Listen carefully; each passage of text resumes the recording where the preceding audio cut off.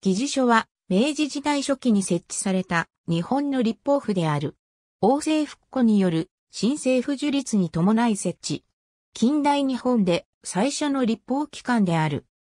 議定、参与からなる上の議事所と、朝廷の進化である長子と、各藩から選出される公使からなる下の議事所で、構成される二院制と考えられるが、上の議事所については特に規定されていなかった。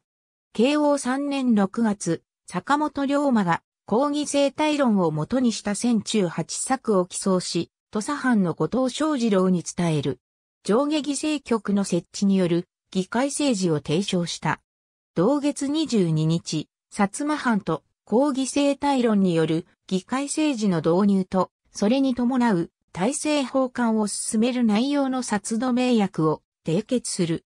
10月3日、後藤が藩主、山内陽道を通じ、将軍、徳川義信に体制法官憲白書を提出。苦行による上院、陪審庶民による会員という任意制に基づく議会政治を求める。同月14日、義信は大政奉還。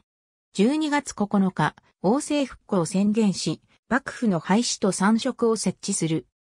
翌慶応4年1月15日、後藤昌次郎、福岡皇帝が新政府に憲白を行い、苦行出身の参与上の参与として、総裁、議定と上の議事所を藩主出身の参与下の参与として、下の議事所設置を求める。